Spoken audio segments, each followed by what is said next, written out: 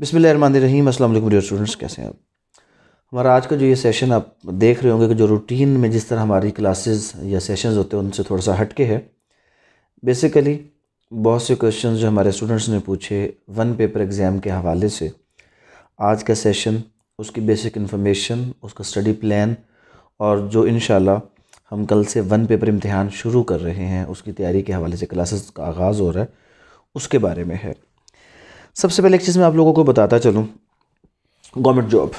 मेरे ख़्याल में पाकिस्तान में रहने वाला हर शख्स मौजूदा हालात के मुताबिक जो कारोबार के हवाले से चल रहे हैं या बाकी कुछ और मामला जो रोज़ बरोज़ बदलती हुई सूरत हाल तो इनके हवाले से एक फ्यूचर की प्रोटेक्शन और अगर आप कहें कि जो safe and secure life style वो गवर्नमेंट जॉब की सूरत में ही पॉसिबल है। अब गवर्नमेंट जॉब के लिए नो डाउट पाकिस्तान में सबसे टॉप जो हमारे पास प्रायोरिटी आती है वो सीएसएस के हवाले से। फिर उसके बाद आपके जो पीसीएस या पीएमएस की सूरत में provincial commissioning services exam conduct करती हैं। लेकिन वहाँ पे या ट्वेल्व पेपर हैं, कुछ नाइन पेपर एग्ज़ाम हैं, कुछ सिक्स पेपर एग्ज़ाम हैं तो क्या ऑर्डिनरी स्टूडेंट्स जिनका स्टडी का बैकग्राउंड इतना अच्छा नहीं है वो सी एस एस क्योंकि सी एस एस के बारे में तो यही है कि पासिंग रेशो बहुत कम है। हज़ारों की तादाद में तलबा उसमें अप्लाई करते हैं और सिर्फ़ चंद सौ तलबा ही होते हैं जो सी एस एस में पास होते हैं। तो क्या सी एस एस के अलावा या पी एम एस के इतने ज़्यादा पेपर्स के अलावा हमारे पास कोई ऑप्शन नहीं है? तो आज इस वीडियो के ज़रिए से हम एक तो आपको ये बताएँगे कि वन पेपर की सूरत में इवन एक एवरेज स्टूडेंट या बिलो एवरेज स्टूडेंट भी अगर कोई हो तो वो प्रॉपर तरीके से उसकी तैयारी अगर करे तो वो कोई भी government job sixteen grade seventeen grade बड़े आराम से उसको सिक्योर कर सकता है। इस हवाले से जो कुछ क्वेश्चंस जो मुझ तक पहुँचे, क्योंकि इसकी तैयारी हमारे सर, जो डॉक्टर अनिल साहब हैं, वो करवाएँगे। काफ़ी इनका वसी तजर्बा है जी के टीचिंग के हवाले से, क्योंकि अब बात जनरली क्योंकि मेरे पास भी इतनी ही इन्फॉर्मेशन होगी कि वन पेपर का मतलब शायद जीके है, लेकिन क्या वाकई वन पेपर का मतलब जीके है? या किस तरह करके इसको कंडक्ट किया जाता है? इस हवाले से हम कुछ सवाल अनिल साहब से करेंगे।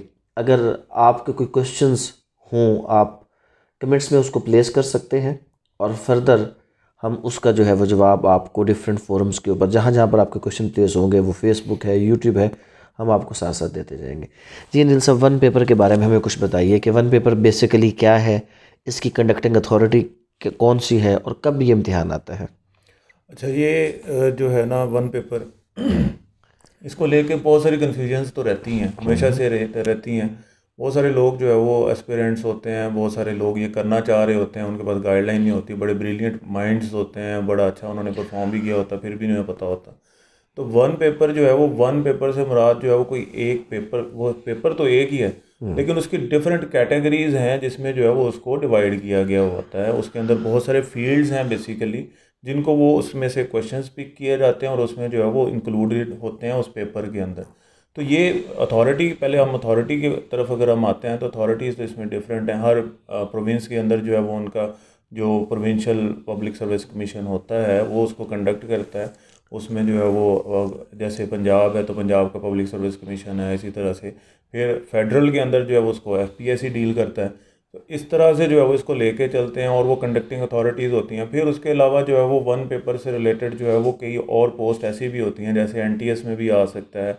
इसी तरह से जो है वो और प्लेटफॉर्म भी हैं जिनके थ्रू इसको ऑफ़र किया जाता है। कंडक्टिंग अथॉरिटीज़ होती हैं कोर्ट्स इवन के किसी कुछ ऐसी पोस्ट भी होती हैं जिसमें जो है वो कोर्ट्स ऐसे कोर्ट से रिलेटेड अगर कोई हैं तो वो अपॉइंटिंग अथॉरिटी के तौर पर भी उसमें वो आ, काम कर रहे होते हैं। तो ये तो वन पेपर की अपॉइंटिंग अथॉरिटीज़ होती हैं। जब वन पेपर की हम बात करते हैं तो वन पेपर जो है वो एक बड़ा जो है वो डायनामिक सा और बड़ा ही जो है वो एक वास्ट उसके अंदर जो है वो चीज़ें होती हैं वो इस सेंस में होती हैं क्योंकि आपके वो फील्ड्स हैं।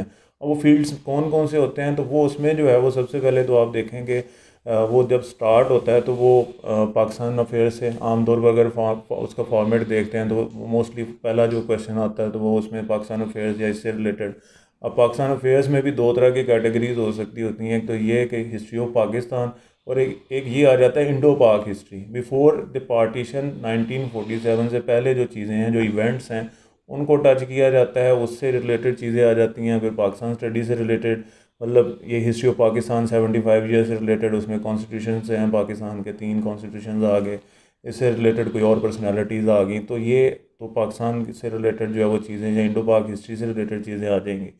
फिर जब हम निकलते हैं उसमें से, फिर वो इस्लामिक स्टडीज़ का पूरा पोर्शन है, वो आ जाता है। उसमें जो है वो, उसमें से क्वेश्चन होते हैं। आमतौर पर जो डिवीज़न चल रही होती है, कि पाँच सात फ़ील्ड को जो है वो उसमें, वैसे तो ये डिस्क्राइब्ड होता है।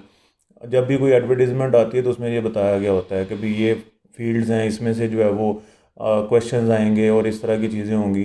तो वो फिर इस्लामिक स्टडीज़ आ गया तो इस्लामिक स्टडीज़ में पूरा वो कुरान की इंफॉर्मेशन है, उसमें सूरा की इंफॉर्मेशन है, उससे जो है वो अहदीस से रिलेटेड चीज़ें हो सकती हैं, उससे जो है वो उसी से रिलेटेड जो है वो और बहुत सारी इंफॉर्मेशन हो सकती है। हिस्ट्री ऑफ़ इस्लाम हो सकता है, जिसमें जो है वो डिफरेंट इवेंट्स हो सकते हैं, जैसे वॉर्स होली वॉर्स जो हुई हैं, उसमें गजबात के बारे में जो है वो इंफॉर्मेशन हो सकती है। तो ये इस्लामिक स्टडीज़ से रिलेटेड चीज़ें आ जाती हैं।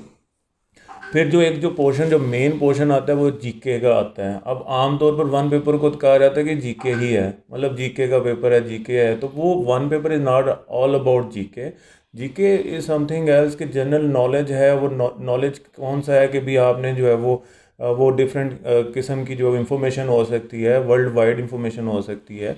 उसमें जो है वो आपके बहुत सारे जो है वो जैसे कोई लार्जेस्ट रिवर्स हैं स्मॉलेस्ट हैं, इसी तरह से कोई और टॉलेस्ट कोई बिल्डिंग है या टॉलेस्ट जो है वो कोई माउंटेंस हैं, इस तरह की चीज़ें जो हैं वो फिर उसमें हो सकती हैं या बहुत सारे इवेंट्स हो सकते हैं। बहुत सारी जो है वो हिस्टोरिकली जो है वो कोई करंट अफेयर्स भी आमतौर पर जीके में हम उसको इंक्लूड कर लेते हैं, लेकिन वो सेपरेट ही होता है। तो वो इस तरह की वो स्पोर्ट्स से रिलेटेड हो सकती हैं चीज़ें, उसमें जो है वो बहुत सारी मतलब जीके से रिलेटेड वो डिफरेंट फील्ड्स उसके अंदर फर्दर होते हैं। फिर हम निकलते हैं तो वो हमारे पास जो है वो आ जाता है कि जी ये वाले फ़ील्ड करंट अफेयर्स के आ जाते हैं कि रिसेंट कोई इवेंट हुआ है, कहीं पे इलेक्शंस हुए हैं, कोई पार्टी आ गई है तो वो इस तरह के इवेंट्स हो सकते हैं तो वो उसमें आ जाएँगे करंट अफेयर्स में।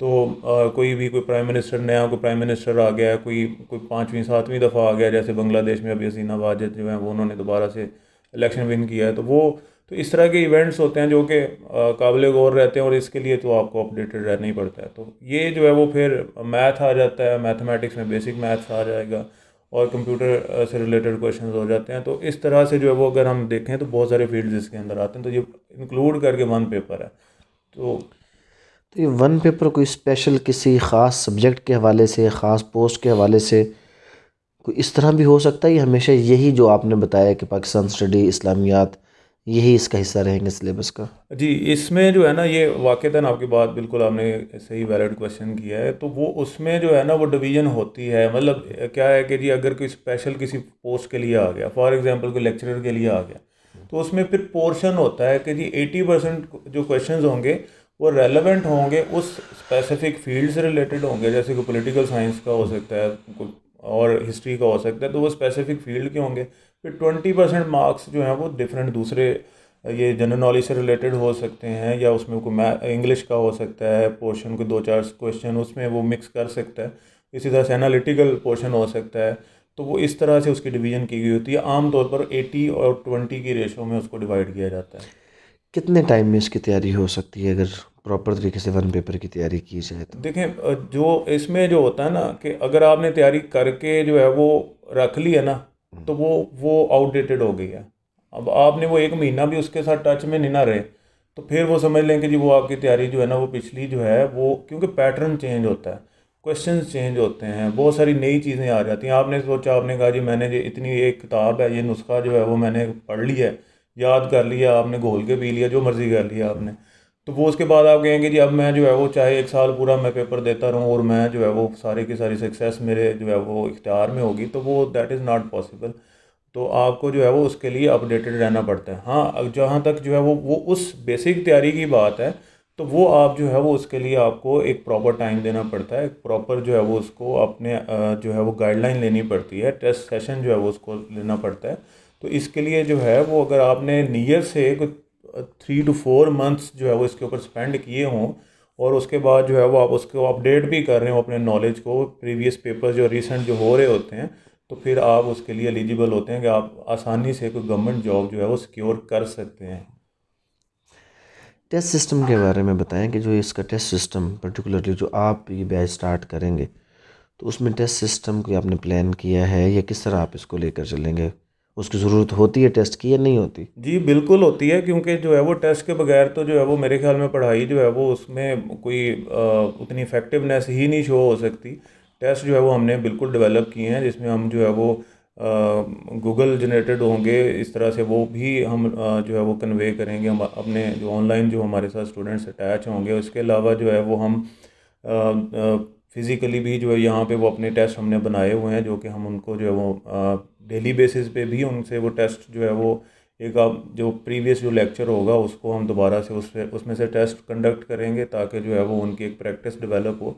इस एग्जामिनेशन पॉइंट ऑफ़ व्यू से भी उन्हें बेनिफिट होगा थोड़ा सा प्रैक्टिस होगी, उनकी पेपर अटैम्प्ट करने की प्रैक्टिस होगी और सेकेंडली जो है वो वो थोड़ा सा जो है वो उनके अंदर सेंस ऑफ़ रिस्पॉन्सिबिलिटी स्टूडेंट्स के अंदर जो है वो हमने ये एक ऑब्ज़र्व किया अपने एक्सपीरियंस के अंदर के स्टूडेंट जो है वो उनको इंगेज जब तक ना किया जाए, आप पढ़ाते जाएँ तो वो सिर्फ़ वो पढ़ने की हद तक रहता है तो जो उनकी प्रिपरेशन होती है वो टिल दैट टाइम नहीं हो सकती।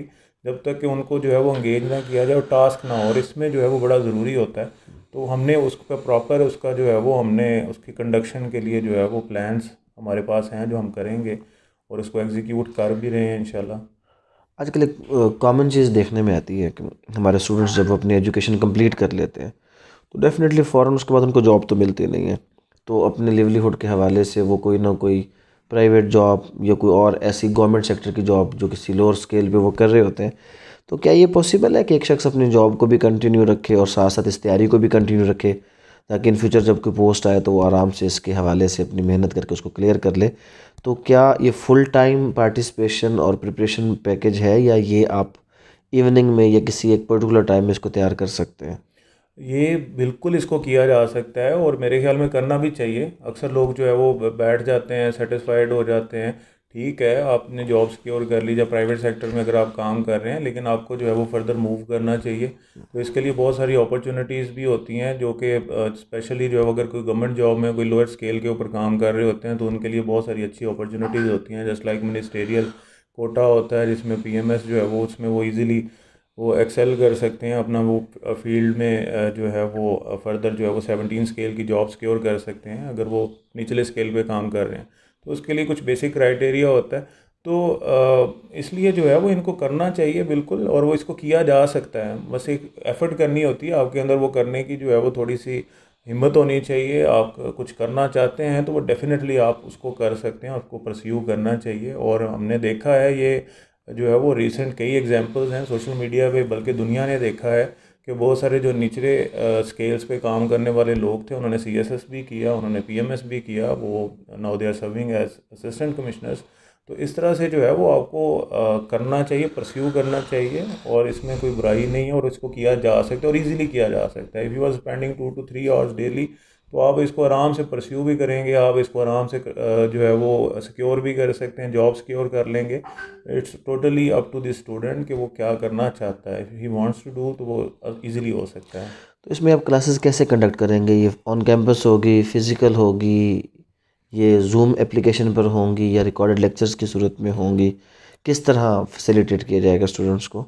अच्छा ये जो है ना आपने जितनी चीज़ें की हैं हमारे पास सारी ही फैसिलिटीज़ हैं हम्म। हमने जो है वो इसका हर तरह से जो है क्योंकि अगर आप जॉब कर रहे हैं तो फिर जो है वो आपके लिए डेफिनेटली जो है वो पॉसिबल नहीं होता कि हेक्टिक रूटीन से आप जो है वो निकले हैं निकल के जो है वो आप आए ऑन कैंपस क्लासेस के लिए आए हैं तो वो वो एनर्जी भी नहीं होती है बंदे में और ना ही वो बंदा वो इतना ज़्यादा एफिशिएंटली जो है उसमें वर्क कर सकता है तो इसलिए जो है हमने ये सारी चीज़ें ही जो है वो रखी हुई हैं हम इसको जूम पे भी लेके चल रहेंगे इन और इसको जो है वो हम ऑन कैंपस भी जो है वो लेके चलेंगे उन लोगों के लिए जो कि आ सकते हैं और इसी तरह से फिर जो जब हम जूम करेंगे तो जूम की जो मीटिंग होगी, उस लेक्चर की वो रिकॉर्ड होगी। अगर फॉर इंस्टेंस कि अगर वो बंदा जो है वो अवेलेबल नहीं था या वो उसके पास नेटवर्क नहीं था, कोई इशू हो गया था तो उसके पास वो वीडियो भी रहेगी। टिल द टाइम के वो जब तक जो है वो उसको वो यूटिलाइज़ कर सके, जब तक वो उसको जो है वो वो अटैच्ड है सेशन अटेंड कर रहा है उसके साथ वो उसको, उससे मुस्तफ़ हो सकता है। तो इसी तरह से जो है वो फिर हम जो है वो रिकॉर्डेड लेक्चर्स जो यूट्यूब के थ्रू जो है वो भी उन तक इंफॉर्मेशन जो है वो कन्वे होती रहेगी। तो ये सारी ही चीज़ें हम यूज़ कर रहे हैं इसके लिए ताकि जो है वो ज़्यादा से ज़्यादा बेहतर इसको एफिशिएंट बनाया जा सके। जैसे आपका बहुत बहुत शुक्रिया। कुछ चीज़ें भी मैं आप लोगों के साथ शेयर कर दूँ।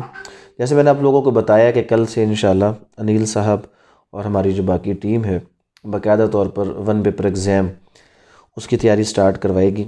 जब तक कोई पर्टिकुलर पोस्ट नहीं आ जाती तो जनरल सब्जेक्ट्स जो कि कॉमन है फॉर ऑल द पोस्ट जिसमें G K English current affair वो डेफिनेटली पोस्ट के हवाले से जब पोस्ट अनाउंस होगी तो ये वेरी करेगा। इसमें सबसे बड़ा एक और क्वेश्चन है, अक्सर बच्चे हमारे पास आते हैं और कहते सर, मुझे पता ही नहीं चला कि वो पोस्ट आई थी। इवन वो ऐड खोल के भी बैठते हैं और उसमें रेलिवेंट पोस्ट अपने लिए तलाश नहीं कर पाते। वन पेपर एग्ज़ाम जनरली अगर सिक्सटीन ग्रेड की पोस्ट होगी तो फोर्टीन ईयर्स ऑफ़ एजुकेशन पे होगी। और अगर सेवनटीन ग्रेड की पोस्ट होगी तो उसमें सिक्सटीन ईयर्स ऑफ़ एजुकेशन और वो भी किसी पर्टिकुलर प्रोफेशनल फ़ील्ड के अंदर। लॉ में डिग्री मांगी जा सकती है, किसी और सवाले से आपकी डिग्री जो लेक्चरर पोस्ट होगी, वो जनरली एटीन ग्रेड में आती है यूनिवर्सिटीज़ की तरफ़ से। और जो आपके प्रोवेंशल सर्विस है, उसमें सेवनटीन ग्रेड के हवाले से आपकी जो लेक्चरर की पोस्ट है, वो उसमें आती है। तो इसमें मेन चीज़ यही है कि पता कैसे चलेगा? तो उसके लिए एक छोटी सी रिस्पॉन्सिबिलिटी जो अनिल साहब ने ली है कि वो ऐसी तमाम पोस्ट हमारा जो अकेडमी का पेज है द नेशनल अकेडमी और उसके अलावा हमारा जो यूट्यूब चैनल है national academy by sir Umar उसकी कम्युनिटी को अगर आप रेगुलर बेस पे सर्च करते रह जाते हैं तो उसमें आपको ये तमाम जो चीज़ें हैं पोस्ट के हवाले से information up to date particularly अगर आप पंजाब से हैं तो आपने पीपीएससी और उसके साथ एफपीएससी सिंध से हैं तो एसपीएससी और उसके साथ एफपीएससी क्योंकि पूरे पाकिस्तान में है तो आप इसको सर्च करते रहें। इसके हवाले से अगर आपके कोई भी क्वेश्चंस हैं तो आप पूछ सकते हैं। फर्दर जो हमारी कुछ इसमें डेमो क्लासेस होंगी, वो भी हम ऑन एयर करेंगे ताकि आप लोगों को हमारे प्रॉपर तरीक़ाकार का पता चल जाए। थैंक यू वेरी मच वालेकुम